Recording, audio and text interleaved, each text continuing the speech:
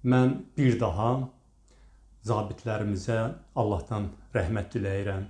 Onların ailələrinə, doğmalarına, bütövlükdə xalqımıza Allah səbr versin. Bu bütövlükdə millətimizin verdiyi itki idi. Həmin vertolyot qəzası baş verən kimi bu barədə biz yazdıq, fikrimizi bildirdik və hesab edirəm ki, əlbəttə dövlət səviyyəsində matəm də elan olunmalı idi. Çünki Azərbaycan kimi kiçik dövlət üçün 14 nəfər zabitin bir gündə itirilməsi gerçəkdən də böyük bir itki idi. Və bu itki bütövlükdə millətin itkisi idi. Ümumiyyətlə hərbçilər, vətənin müdafiəçiləri hansısa siyasi qurumların, hökumətlərin yox, millətin kisəsindən gedərlər və siyasi mövqeyindən asılı olmayaraq hamımız bu acını yaşayırıq. Amma çox təəssüf ki, sizin dediyiniz kimi olmadı. Nə matəm elan olundu, nə dəfn mərasiminə gedildi, Niyə görə belə oldu və niyə görə vertolyot qəzasından dərhal sonra susqunluq oldu? Siz çox ciddi suallar qaldırırsınız. Mən də bunlara ardıcıl olaraq cavab vermək niyyətindəyəm.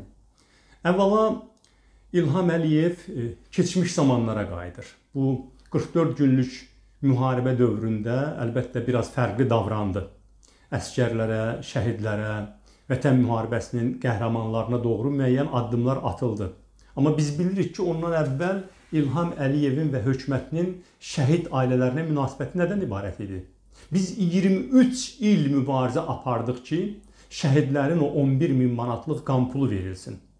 Bizim hörmətli izləyicilərimiz yəqin xatırlayırlar ki, həmin şəhid anaları bir neçə il bundan əvvəl prezident aparatının qarşısında, Nazirlər Kabinetinin qarşısında silsilə aksiyalar keçirirdilər. Biz hamımız utanırdıq buna görə. Şəhid analarının qolu vurulurdu, yaralanırdı, yerə yıxılırdı. İndi hökumət keçmişinə qayıdıb. Qeyri-adi bir şey yoxdur. Necə ki o zaman şəhid ailələrinə, hərbçilərə münasibətdə laqeyd idilər, biganə idilər, saymaz yana idilər. Xatırlayın, həmin o atəşkəs dövründə nə qədər bizim hərbçilərimiz ya təlimlərdə ya da atəşkəsin pozulmasından şəhid oldular. Onların hansına dövlət səviyyəsində xüsusi bir qayğı göstərilirdi ki? Eləcə də indi vertolyot qəzasında həyatını itirmiş 14 nəfər zabitimizə münasibətdə də həmin o biganəliyi biz gördük. Çox təəssüf. Nəyə görə bəs bu qəza dövründə Azərbaycanın hakimiyyət orqanları susqun qaldılar? İctimaiyyət danışır, hələ bir versiya irəli sürür. Azərbaycan hakimiyyətini təmsil edən qurumlar isə susurlar operativ və obyektiv mövqe bildirmirlər. Bunun da səbəbi İlham Əliyevdədir. O demir ki, hər şeyi, nəyi, nə vaxt, necə etməyi mən bilirəm. Bilirsiniz bu nə deməkdir? Bu həm də o deməkdir ki, başqaları bilmir nəyi, necə etməyi və nə vaxt etməyi. Ona görə də bütövlükdə dövlət orqanları, komitələr, nazirliklər, icra aparatı iflic olub. Onlar hansı qərar verə bilərlər ki, onlar hansı açıqlamanı verə bilərlər ki, o səhv olmasın? Axı həqiqəti bilən yalnız bir nəfərdir İlham Əliyevin təbirincə. Bax həmin adamlar narahat olurlar, qorxurlar səhv eləməkdən. Birdən nəsə deyərlər, İlham Əliyev bəyənməz. Deyər ki, axı həqiqəti ancaq mən bilirəm. Siz nəyə görə bu barədə hansısa bir açıqlama vermisiniz? Ona görə də baxın, fərqi yoxdur. Müdafiə Nazirliyi olsun, Daxili İşlər Nazirliyi olsun, sərhədlərin müdafiəsi ilə bağlı məşğul olan idarə olsun. Hamısı susqun vəziyyətdədir hamısı təlimat gözləyir. Heç biri öz vəzifəsinin öhdəsindən vaxtında və adekvat şəkildə gələ bilmir. Dövlət orqanlarını normal konstitusion vəzifələrini yerinə yetirməyə İlham Əliyev imkan vermir. Çünki o iddia edir ki, bütün məsələləri o bilir. O deməlidir ki, nəyi necə etmək lazımdır və nəticədə belə də oldu. Azərbaycan ictimaiyyəti kifayət qədər ciddi bir müzakirələrə girdi ekspertlər, sosial şəbəkə fəalları, ən müxtəlif adamlar versiyaları irəli sürdülər və sizin dediyiniz kimi prokurorluq da çıxıb hədələyir ki, hansısa versiyanı irəli sürənləri biz xəbərdar eləyirik. Hansısa bir hadisə baş veribsə, cəmiyyət bunu müzakirə eləyəcək. Çıxıb operativ və obyektiv məlumat verin nə baş verir. Yer gəlmişkən Sevinç xanım, mən bir məsələyə toxunmaq istəyirəm. Çox təəssüf ki, bu demokratiyanın olmadığı ölkələrdə konspirasiya teoriyaları, nəzəriyyələri çox inkişaf edir. Hər şeyin arxasında hansısa bir güclü qüvvələri görmək, xüsusilə də yəqin ki, müəyyən obyektiv səbəb də var ki, Azərbaycana münasibətdə Rusiya çox tez-tez fəndgir hərəkətlər eləyir. Qarabağda bizim mövqelərimizi zəiflədən, Qarabağın üzərində bizim suverenliyimizi sarsıdan işlər görür. Ona görə də az qala nə baş verirsə, ictimai fikirdə müəyyən adamlar Rusiya ilə əlaqələndirirlər və burada da mən müşahidə elədim bunu.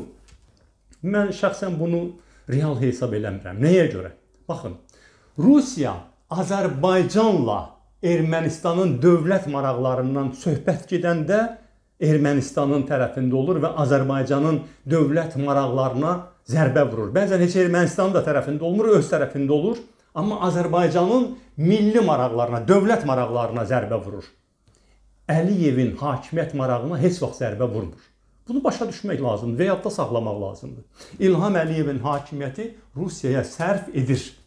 İlham Əliyev olmayıb da kim olacaq ki, Rusiyanın bu qədər bütün istəklərini nəzərə alacaq, istədiyi hər şeyi eləyəcək, bu qədər öz başınalıq eləmiş, Qarabağı faktiki Azərbaycanın yurisdiksiyasından çıxarmış, sülh məramlara hər görüşdə, hər danışıqda təşəkkür eləyəcək. Rusiyanın bütün istəklərini yerinə yetirəcək. Ona görə də burada bizim çaşmamalıyıq. İlham Əliyevin hökumətini hər hansı bir formada zəiflətmək, ona qarşı təxribat eləmək Rusiyanın gündəliyində yoxdur.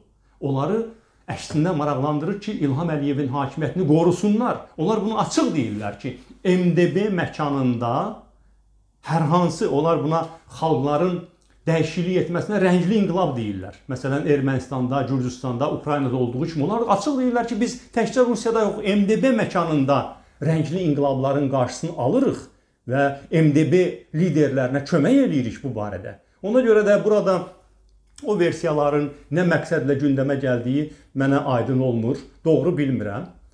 Mənim fikrimcə əvvəla ədalətli yanaşma ilk növbədə kollegial və ekspert biliklərinə əsaslanan yanaşma olmalı idi. Belə halda dövlət necə rəftar etməlidir? Belə hallarda heç kim qəzalardan belə deyək, sığortalanmayıb. İstənilən dövlətdə, istənilən siyasi hakimiyyət şəraitində müxtəlif qəzalar ola bilər. Belə vəziyyətlərdə standart dövlət yanaşması olmalıdır. Nədən ibarətdir bu? Bilirsiniz, normal ölkələrdə belə hallarda necə olur? Heç kimin ağlına gəlmir ki, baş verəni xalqdan gizlətsinlər. Bax, birinci məsələ budur. Bu Sovet İttifaqından bizə qalmış mirasdır totalitarizmdən böyük-böyük gəmilər batardı. Atom sualtı gəmiləri batardı. Çernobıl kimi dəhşətli hadisə baş verərdi. Bütün dünya şoka düşərdi, amma Sovet xalqından gizlədərdilər. Çünki totalitarizm. İndi də haradakı demokratiya yoxdur. Həmin ölkələr, o cümlədən Azərbaycan o irsi davam elətdirir. Amma demokratik ölkələrdə hadisə baş verir. Dərhal nə baş verirsə, ən böyük biclik düzlükdür prinsipi ilə çıxırlar kameraların qabağına, baş verənlər barədə danışırlar. O nə qədər rüsvay edici hadisə olsa da, o nə qədər utanc verici hadisə olsa da, amma olub artıq. Onu geri qaytarmaq olmaz və azad mətbuatın olduğu ölkədə onu gizlətmək də olmaz. Biz də bu qaydanı tətbiq etməliyik. Nə baş veribsə verib, onu xalqdan niyə gizlədirsən ki? Texniki qəzadırsa, texniki tərəflərini müzakirə edəcəksən. Varsa xarici amil, niyə ört bastırı edirsən ki, bu barədə açıq danışacaqsan? Hansısa insan amili var, qeyri-peşəkarlıq var, bu barədə danışacaqsan. Heç nəyin üzərində tabu olmalı deyil. Aşkarlıq olmalıdır. Kollegiallıq olmalıdır. Azad mətbuat olmalıdır. Hesabatlılıq olmalıdır. Xalqla açıq söhbət olmalıdır. Dövlət qurumları öz vəzifələrinin öhdəsindən gəlməlidir. Hər bir dövlət qurumunun özünün konkret səlahiyyətləri var. O səlahiyyətləri çərçivəsində hərəkət etməlidir. Normal, ədalətli yanaşma budur. Azərbaycanda bunlar yoxdur. Əsas səbəbini mən vurğuladım nə ilə əlaqədar yoxdur. Səhv eləməkdən qorxurlar. Dırnaq arası mən deyirəm bu səhv eləməyi. Yəni İlham Əliyevin bəyənməyəcəyi hərəkət eləməkdən qorxurlar. Amma başqa tərəfi də var məsələnin. Bilirsiniz, İndi artıq ekspertlər xeyli danışıblar bu barədə. Şükürlər olsun ki, o qəzadan salamat çıxan bizim 2 nəfər pilotumuz da var. Və belə məlum olur ki, pilotlar təcrübəli olublar. Deməli, pilotların səhvi versiyası aradan çıxır. Vertolyota nəzərdə tutulduğundan çox adam minməyib, əksinə vertolyot 25-26 nəfər apara bilərdi, 16 nəfər olub, bu versiyada yoxdur. Vertolyot enərkən olub, vurulmayıb. Onun qalıqları ortalıqdadır. Yəni Bakının yaxınlığında, Azərbaycanın mərkəzində kim gəlib onu vuracaq ki, işsiz tozsuz onu örtbasdır mümkün olacaq? Yox, o da deyil. Və vurulsaydı oradan pilotlar sağ da çıxmazdı. Bu da məlum məsələdir. Bəs nə? Əlbəttə ki, istintaq bütün versiyaları araşdırmalıdır. Yəni mənim dediyim də e, başqalarının dediyini təkrarlamasın ki, istintaqı gözləmədən demək biz öz versiyalarımızı həqiqət kimi təqdim eləyək. Xeyr. Kollegial qara qutudan da istifadə etməklə, pilotların ifadələrini almaqla, deməli o e, texniki məlumatların hamısını toplamaqla obyektiv bir araşdırma aparılıb xalqa açıq məlumat verilməlidir. Amma mən hörmətli izləyicilərimizin nəzərinə bir məsələni çatdırmaq istəyirəm. Bu qəzaya uğramış vertolyot Rusiya istehsalıdır. Geniş yayılmış bir modeldir, çox geniş istifadə olunur. Minlərlə bu vertolyotdan istehsal olunub. Amma bütövlükdə Rusiyanın təyyarələri üçün, vertolyotları üçün xas olan texniki nasazlıqlardan yəqin ki, bizim istifadə etdiyimiz vertolyot da xali olmayıb. Mən söhbətim ümumi xarakter daşımasın deyə sizə bir fakt demək istəyirəm. Əziz həmvətənlər. Rusiyanın özündə mən bütün dünyadakı rus texnikasından danışmıram. Rusiyanın özündə deməli təyyarələrlə, vertolyotlarla bağlı 2021-ci ilin 9 ayında 39 qəza baş verib. Onun 21-i pilotun və ya şəxsi heyətin ölümü ilə nəticələnib. Təsəvvür edirsiniz bu nə deməkdir? 9 ayda 39 qəza. Təyyarələr var, vertolyotlar var və başqa ən müxtəlif deməli uçaqlardan gedir söhbət. Az qala avtomobil qəzası qədər tezliklə bu qədər də qəza olar. Əlbəttə ki, heç kim xali deyil, heç kim sığortalanmayıb. O cümlədən ən məşhur firmaların təyyarələri, vertolyotları da qəzaya uğrayır, amma da bu qədər tez-tez yox da. Deməli, məncə əsas səbəbi bax o istiqamətdə axtarmaq lazımdır. Və hökumət onda maraqlı deyil. Nəyə görə? Çünki narahatdır ki, cəmiyyət deyər ki, bir halda ki, Rusiyanın texnikası, xüsusilə də bu uçaqları, vertolyotları, bu qədər qüsurludur. Dediyim kimi 1 il başa çatmamış 9 ayda 39 uçaq, vertolyot qəzaya uğrayıbsa, təkcə öz ölkəsində niyə görə Azərbaycanın bu qədər də pulu var? Daim öyünürsüz Azərbaycanın pulunun çox olmağı ilə. Niyə görə daha keyfiyyətli vasitələr alınmır bizim əskərimiz üçün, zabitimiz üçün? Bu sualı eşitməkdən qorxurlar. Və özümüz də bilirik ki, nəyə görə Rusiya texnikasına istinad olunur, daha çox üstünlük verilir. Birincisi bu bir bac vermək kimi bir şeydir. Xərac qoyulub sanki bizim ölkənin hökumətinin üzərinə. Vaxtaşırı Rusiyadan həmin o yararsız demək Rusiyanın öz siyasətçilərinin e, birbaşa istifadə elədiyi termindir bu. Yararsız texnikanı bizə satırlar. Silahları bizə satırlar. Bu Rusiyanın siyasi tələbidir. O bir tərəfdən də atqat alırlar. Bu da bir faktdır. Bunu heç cür dana bilməzlər. Həmin o Azərbaycan landramatı ortaya qoydu ki, Rusiyadan silahları almağa görə Azərbaycanda vəzifəli şəxslərə çoxlu miqdarda pullar verilir, o pullar xaricə daşınır. O pullardan vəzifəli şəxslərdən biri 800 min avroya özünə diş düzəltdirir. Qalanları da bilirsiniz ki, həmin ofşorlardakı hesablara köçürülür. Bax, bu sualların çıxmaması üçün yəqin ki, örtbasdır eləmək istəyirlər ki, cəmiyyət bilməsin ki, Azərbaycanın bu qədər pulu ola-ola və Azərbaycan üçün bu zabitlər bu qədər əziz ola-ola, vətən üçün bunlar nə qədər əziyyətə başa gəlir, xüsusilə də pilotlar. Demək, bunlar əlbəttə ki, çox uzun illərin təcrübəsi ilə yetişən hərbçilərdir və bu insanları hansısa ucuz texnikaya qurban vermək heç bir halda olmaz. Yəqin ki, bu səbəblərdən örtbasdır eləmək istəyirlər və bir də ki, natamamlıq kompleksi var. İstənilən deməli baş vermiş hadisəni birinci reaksiyaları odur ki, gizlətmək. Suçluluq kompleksi içindədirlər. Çünki narahatdılar ki, haradansa qeyri-peşəkarlıq çıxacaq. Haradansa korrupsiyanın qulaqları görsənəcək. Ona görə də istənilən baş verən qəzanı, hadisəni, uğursuzluğu örtbasdır etməyə çalışırlar.